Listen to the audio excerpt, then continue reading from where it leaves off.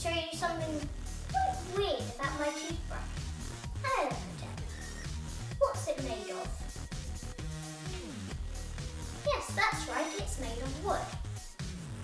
It's a special wood called bamboo.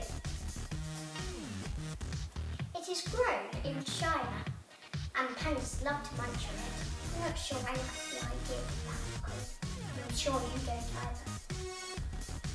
I've got two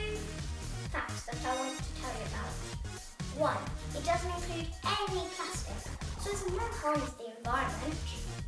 Fact number two, it is way cheaper than a single plastic toothbrush. Please, please buy one.